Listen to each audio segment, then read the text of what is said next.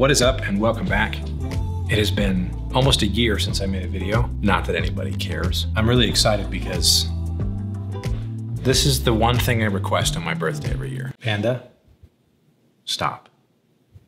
You have to forgive. I mean, this is a real, this is a, a hot house. This is a live environment. This is the one thing I request on my birthday every year, carrot cake. Now, I want to tell you a story about carrot cake and why I think it is the best, and then I'm to see how long I can last before I dig into this.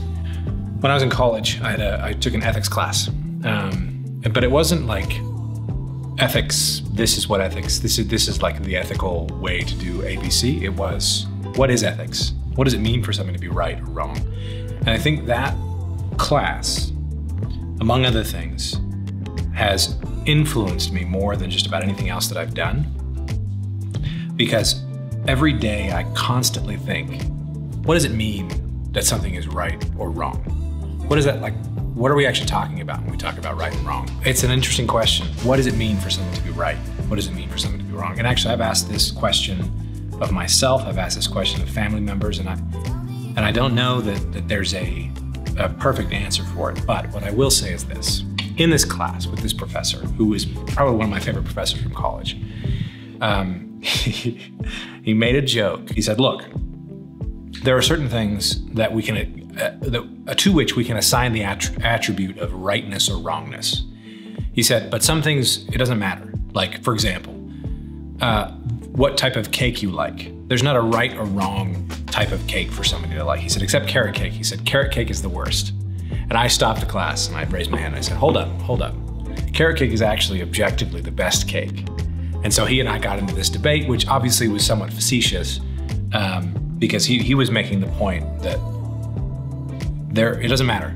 Like ethically, at the end of the day, it, it doesn't make a difference what type of cake you particularly like. What matters is there, there are deeper things, there are, there are decisions that you make. Now, as I said before, carrot cake is my favorite cake.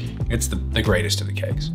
And this is the only thing that I request on my birthday every year. And uh, Sue has just perfected this recipe, so I'm super excited about this.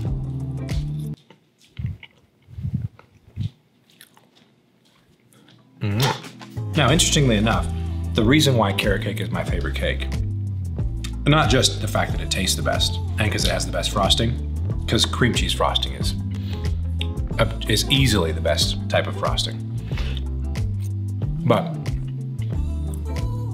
when I was a kid, I'm one of 10 kids, the eighth out of 10.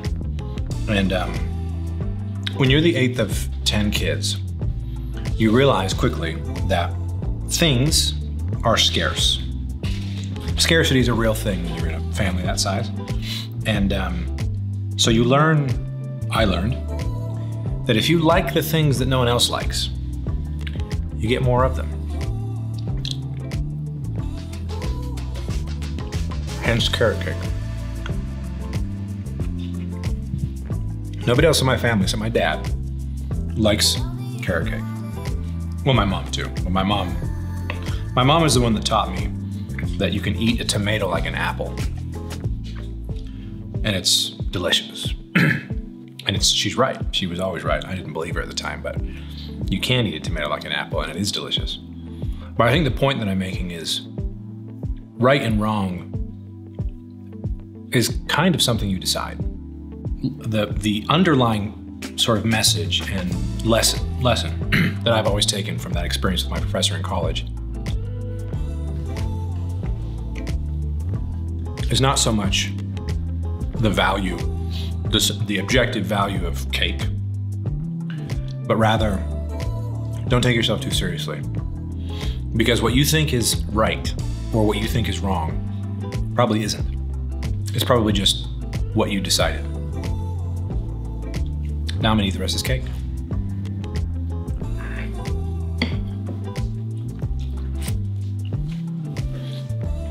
Oh, and happy birthday to me.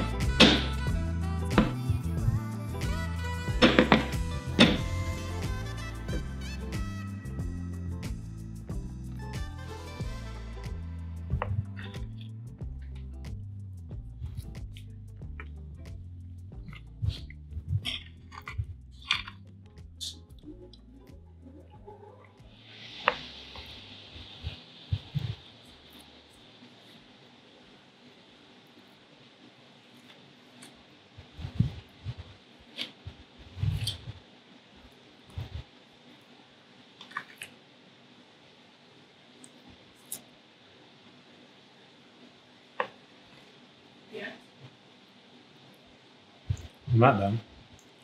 I'm not done with my cake yet.